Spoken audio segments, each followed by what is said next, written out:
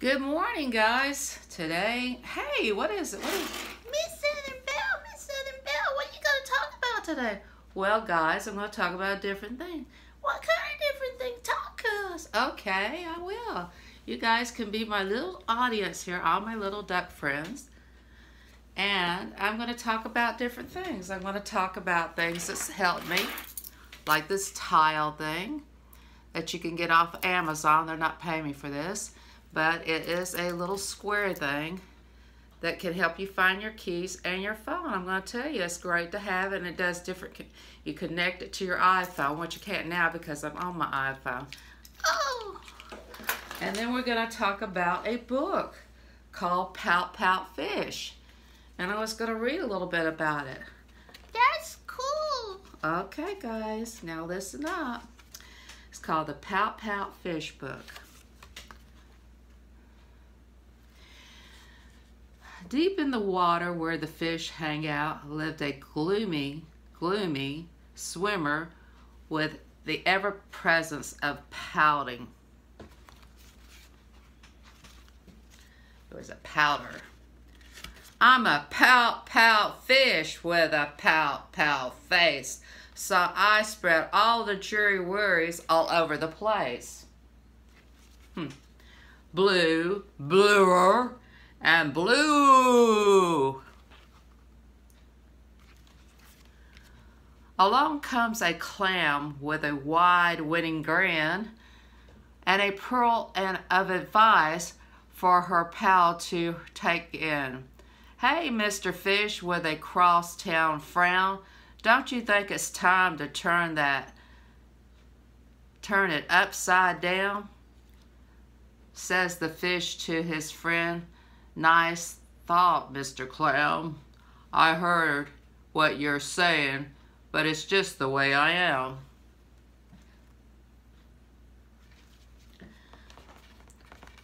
I'm a pout pout fish with a pout pout face, so I spread my jury worries all over the place. Blur, blur, and blur. Along comes a jellyfish. He floats through the ocean, his testicles all trailing and gently in locomotion. That's pretty funny. Hey, Mr. Fish with the daily scary scroll. I wish we wouldn't get greeted us with a grumpy and groan, says to the fish to his friend. Mr. Jelly, I agree. I like to be more friendly, but it isn't in me. I'm a pout pout fish with a pout pout fest, so I spread the jury worries all over the place. Woo! Woo! Woo! So this book I got from uh, Amazon, and there's more to become. If you guys want to pick it up, it's pretty cool, and uh, I thought it was cute. And I, I, you know, when my mother, my mother was like, sometimes she'd be grumpy, you know, and she was 87 years old. I'd have the ladies read this book to them, and sometimes they get grumpy because she was grumpy, and they start laughing because you know, it was a funny little book. Another thing I want to talk about is this product called Wet Ones. And they come, you know, I'll open it up. They come in little packages and you can carry them in your pocketbook. And like when you go to the grocery store and you, they forget to put out their wet ones and you wipe off the the um, buggy and you can wipe your hands when you before you eat and they come in handy. And that's about what I was going to share today, except I'm going to have a cup of coffee and I was going to tell you some experience when I went to the grocery store. I was walking through the grocery store and this lady, she was all in place. Her hair, she was perfectly, everything. She, I look like somebody threw up an artistic paintbrush on me because I wear all these weird colors. I never match. Everybody in my family liked to match, so I just wanted to be different. I just want to be a mismatch.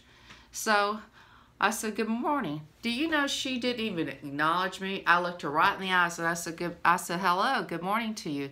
She just walked by me like I was invisible. And I said, wow, lady is, I'm invisible. Have y'all ever been the invisible person in the grocery store? That is just, wow. I said, man, this is the South. Let's be a little bit kinder. So, um, then you, you, I don't know how the cashiers endure that. I mean, they have to be polite whether they want to or not. They say, good morning. I, I go to CVS, they say, hello, good morning, welcome to CVS. And people just don't even care. They just, and I said, she's one of them. It's, she thinks you're invisible. she just started laughing. I mean, what's up with that? Anyway, I just thought it was strange. I mean, can you imagine having to be the person to say good morning to everybody because it's part of your job and nobody. So I thought, this is for you people. I call you the pout pout fish that don't even want to say good morning. so just remember when I read that book, say there's a pout pout fish for you, and you can laugh about it. So, um, and then you get the the little workers. They're so sweet at Publix. They there's this one guy I just love him to death. He he works with the cheese and the meats, you know, like the bacon and everything. I'll say good morning. He'll say, "Well, good morning. How you doing today?" And he's just full of energy. He's just as sweet as he can be. And he said, "Can I help you?" And I'm like, "No, but it was nice to meet somebody. It's really that kind, you know." just goes to the extreme. And I'm thinking, that guy's just a really sweetheart. And then there's some you say good morning to, and they're like, rah, rah, rah, why am I at this work? And then one time for a while there, there was this guy at the, um, the hot foods, you know, where they serve chicken and vegetables. He'd be like, they're like, I said, can I have a vegetable? He's like, and then I just talk to him just as pleasant. I say, how you day going? You know, you're looking good. You know, I like your hair. You know, anything to get a smile. It took me almost two weeks to get that man to open up and be perky. I bet it was worth it because he's just like full of life and energy. I said, thank you, Jesus, for that one. I got rid of that pout pout fish one on him. it was a tough road, but it worked. So if you see somebody, it's a pout pout fish, and you, you say, oh man, who needs to be around that pout pout fish? Just go and push forward and, and just try to make them smile. Just say, oh, your hair looks good. Just try to push them to smile. Stop that pout pout fish right there and just say something pleasant. Sometimes people don't want to do something extra for you. But just say, oh, thank you. I know it was hard for them to pick up and look that little number up for you. But you know, sometimes they just, they, that, before they even got to the job, they might have had an accident on themselves or they spilt coffee on their shirt and they already had the bad day before they got, or their husband or their wife was mean to them as the kid says something really upset them you don't know what happened that, that minute before they got to the work. And they brought it to the work, which wasn't a good idea. But, you know, some people do that. What they should do before you go to work is have like a little room that says, shake it off, all that negative energy, shake it off, all that negative energy. Have a little piece of candy in a book called Pout Pout Fish Fish right there waiting for them. But, you know, that's just the way it is. So, you guys, if you ever feel like you're having one of those days, you ever have one of them days when nothing is right till morning and night? You ever have one of them days? Shh, YouTubers. So, you know, you just have to shake it off. So you gotta shake off that bad thing. You gotta shake off all that bad stuff and go out there and bring the sunshine out. and when you shake it off and you see people like that and you give them your sunshine, you can say, sunshine, I'm blowing in your way, sunshine. I'm giving it to you today, sunshine.